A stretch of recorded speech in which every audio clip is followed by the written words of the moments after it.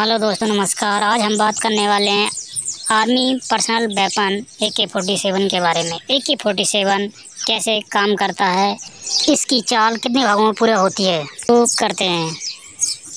ए के forty seven जब एक फायर चेंज पोजिशन एस से आर पर करता है और ट्रिगर प्रेस करता है, जिससे हैमर आज़ाद होकर फायरिंग पिन रिटनर पर चोट मारता है, जिससे फायरिंग पिन अपने बुसोल से निकलकर राउंड के पैंदे पर चोट मारता है, जिससे राउंड फायर हो जाता है। ये कार्रवाई फायर की होती है।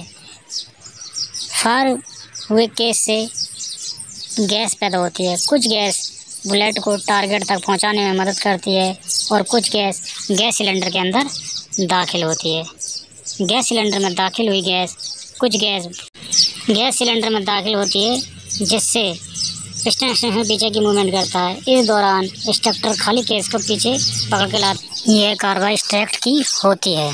चाल वाले बच्चों की हरकत जारी रहती है। इस दौरान इंस्ट्रक्टर इजेक्टर से टकरा यह कार्रवाई इजेक्ट की होती है। जिससे खाली केस दाने स्लॉट के ज़रिए नीचे गिर जाता है। एक्सटेंशन जब पीछे की मूवमेंट कर पिस्टन एक्सटेंशन का निचला दायना पहलू हैमर बैंड को नीचे दबा देता है। यह कार्रवाई लॉक कॉक की होती है।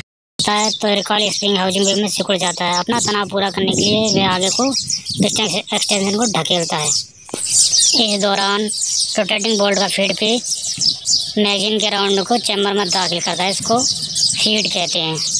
चाल वाले पुर्जों की आगे हरकत जारी रहती है। इस चैम्बर में दाखिल राउंड को आगे दाखिल कर देता है, जिसको लोड कहते हैं। अभी भी चाल वाले पुर्जों की हरकत जारी रहती है। इस दौरान पिस्टन स्टेशन का लॉकिंग लेयर, लॉकिंग सरफेस से दाहिने घूम जाता है, जिससे वो लॉक हो जाता है। इस कार्रवाई को लॉक कहते हैं। ये क्रिया लगातार इस तरीक़ा से चलती रहती है। जब तक मैगजीन में राउंड रहेंगे और फायर का ट्रिगर पर हाथ रहेगा और ट्रिगर प्रेस करता है